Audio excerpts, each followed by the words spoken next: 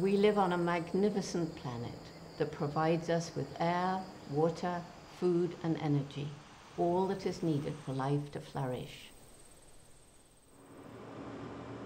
Yet vast areas of the planet's land surface have been deforested or degraded. Meanwhile, we struggle to reduce our impact on the climate, and many people are in desperate need of food, water, and decent productive livelihoods. The Global Partnership on Forest and Landscape Restoration has estimated there are more than 2 billion hectares worldwide where the potential for restoration is high. In 2011, the Bonn Challenge set a target of 150 million hectares of degraded and deforested lands to be restored by 2020.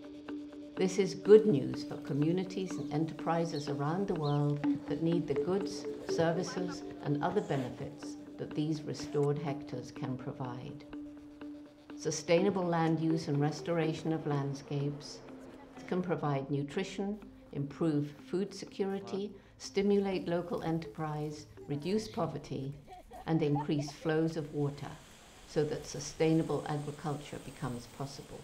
And at the same time, it increases habitat for wildlife and reduces human impact on climate change.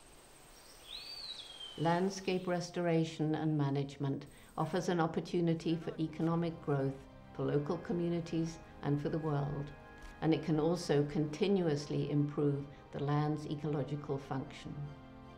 There are opportunities to turn degraded areas into healthy, fertile, working landscapes all over the world.